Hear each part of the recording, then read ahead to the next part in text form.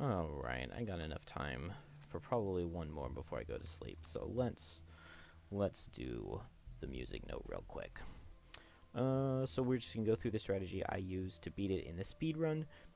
This strategy, you probably won't have all of the same tools that I have, but you can probably get something close enough that'll let you beat the level. Uh, so let's just go ahead and level up. We're just gonna go up to level 6. We're only gonna need two cards. Um, we just are gonna take a card at level 5 and level 6, and we're just not really gonna worry about anything else. Uh, actually, you know what? Uh, it would probably be good to bring... Oh, never mind. Isn't there a bottom attack that wounds? Is it Power Ballad? Maybe I'm just thinking of Wistful Wounding, because the top does wounding and then the bottom is an attack.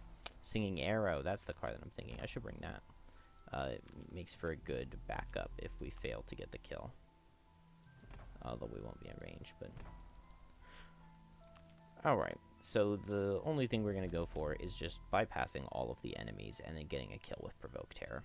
So we need to get a plus one in order to get the kill.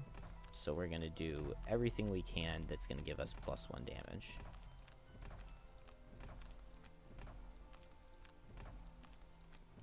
The stun is better than minus one because we do have a rolling plus one, so there's always the chance we roll into it.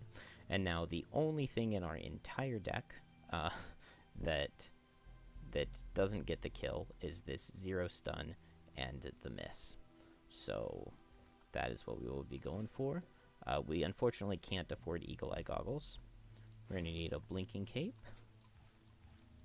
Then a Piercing Bow, which is definitely not an item you're normally going to have on this guy. Uh, you need a Boots of Dashing. And then a Ring of Haste. And those are basically all of the required items. Then we're just going to get a minor power potion for extra damage and a um, pair of blesses. Is that everything? Yeah. Not really any point in getting anything else. Let's go for it. Yeah, it's right there.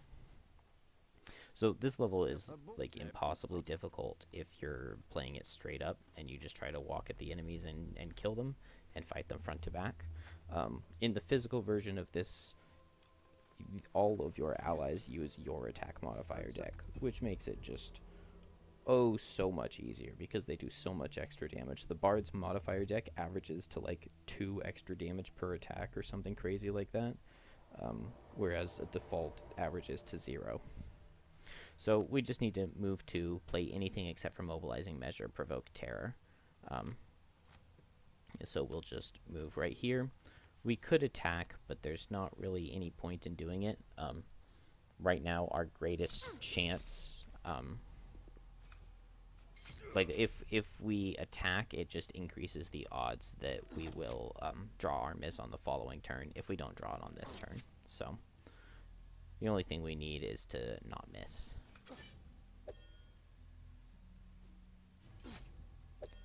And um, this is the next to last turn.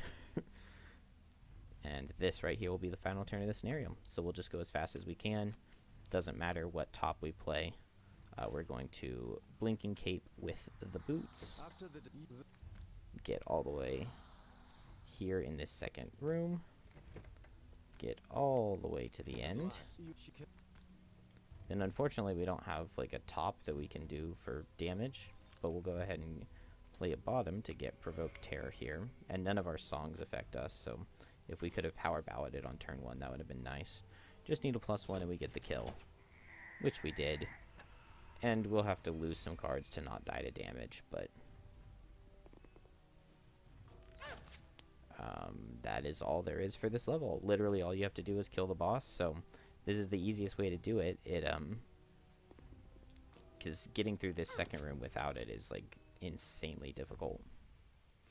We just have to watch all of these animations, but that is this level. That is how you cheese the heck out of it. So, I guess I'll just go ahead and let it run to the end, but have a good one, guys. Thanks.